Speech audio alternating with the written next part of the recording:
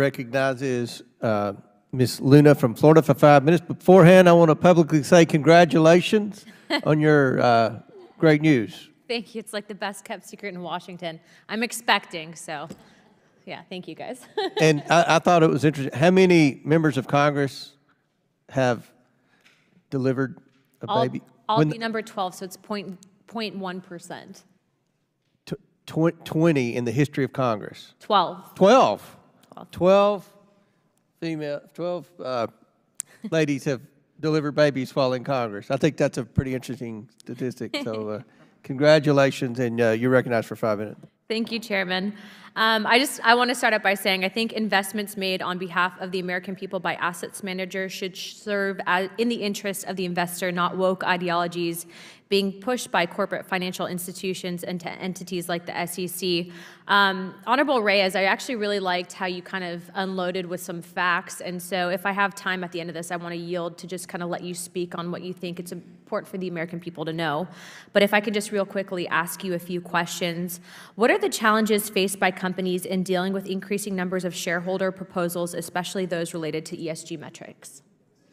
Well, they're being forced to themselves choose a path that may not be um, yielding the best returns to their own investors. They may be forced to um, make choices that push their own customers away from their own products. I mean, there, there are a whole host um, uh, of different problems that this type of pressure can have on a particular company. Um, and then on the other side, there are a lot of problems, as we've already uh, discussed um, extensively with investors um, and the potential loss of uh, you know capital investments. Um, all of those uh, things are problematic, Congresswoman. How often are clients informed that their asset managers are prior- prioritizing ESG metrics over their financial return? I, I no, their asset managers are required to disclose what they're investing in, but I don't think it's readily um, apparent to most um, people that their investments are necessarily being invested with an ESG um, bent, right? So uh, again, transparency laws and, and requirements would behoove, I think, the whole process, and that's what we're here again to talk about. N- Not the policy, but the process, how this is being effectuated. Is it being done fairly and in a free market, or is it being done coercively I think it's very interesting that obviously there are many things that my colleagues across the aisle and I probably disagree on. Probably agree on some and mostly disagree on most.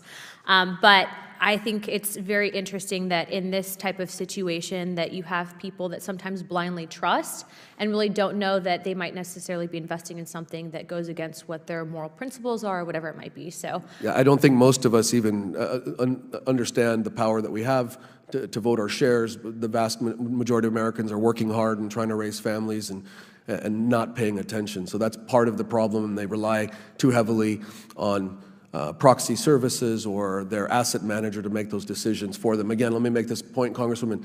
We, we've never disputed your own ability to invest whatever assets you have the way that you want to, and including an ESG um, program. But when you're an asset manager investing on behalf of others, it's an entirely and wholly different circumstance, and you have to live up to that fiduciary duty. So we have about two minutes left, and I want to yield the rest of my time to you. What is the most important takeaway for the American people to know from this hearing today? Well, again, I'd like to point back to the three things that we talked about. One was the DOL rule, um, but we've already covered that, I think, sufficiently.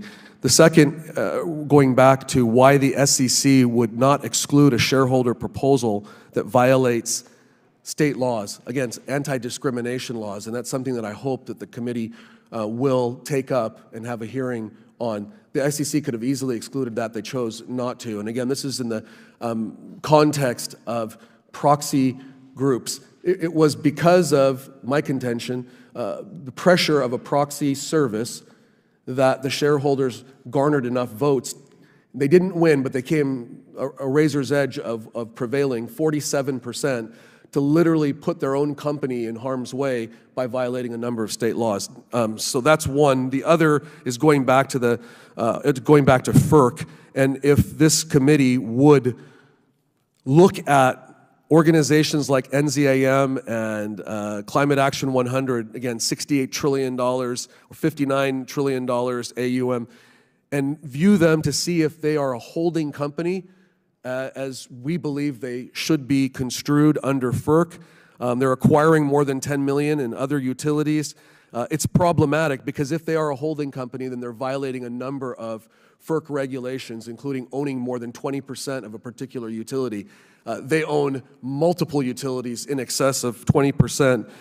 FERC requires asset managers to be passive, and these horizontal organizations are anything but passive. They are bluntly and very self um, aggrandizingly uh, clear about what their intent is. And um, that, we believe, also violates FERC's uh, prohibitions uh, on asset managers being um, not passive and trying to uh, operate um, the utilities. So those are the areas, again, that I would like for the committee to be able to take up. Again, appreciate your time. Congratulations to you. I have six kids of my own, and this is the best news I heard all day. Thank you, Chairman. I yield my time. Gentlelady yields back. Hey, before you click on the next video, if y'all could do me a big favor and hit that like button. The algorithm loves it, and so do I, because it helps promote these videos and get the message out about what our government has been doing. Don't forget to hit that subscribe button and turn on your notifications, because every time I put out a video, you want to know about it, right? Thanks again, and have a good one. See you on the next one. Peace.